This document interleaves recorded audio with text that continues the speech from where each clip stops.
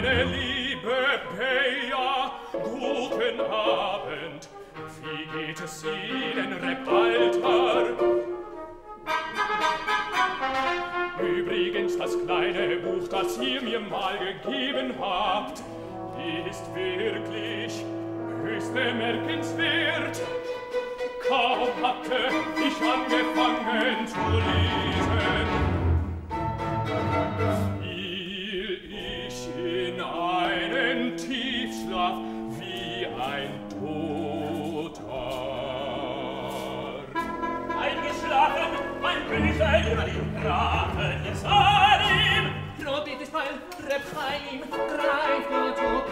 noch nicht so zart, das sagt immer meine Mann.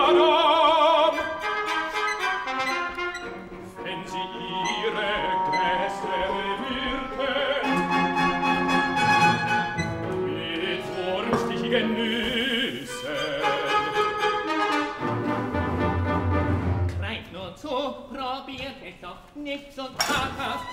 So.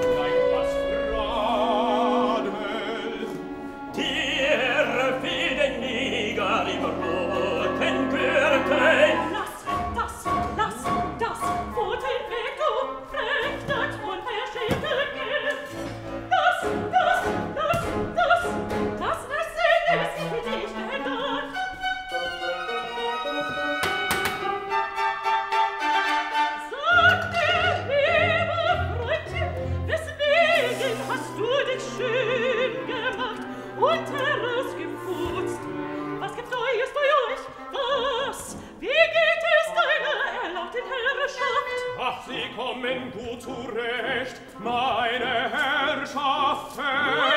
Auf, auf.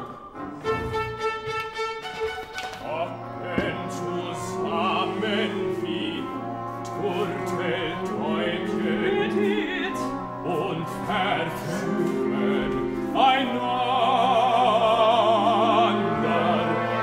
wissen Sie, Teglit? Aus welchem Grund, aus welchem Grund? Völlig ohne Grund, einfach so. Einfach so verbrechen. Sie will nach Paris. Wahrscheinlich sagt er dann zu ihm. Nach Berlin. Sagt sie zu ihm. Zum Teufel, zum Teufel, zum Teufel.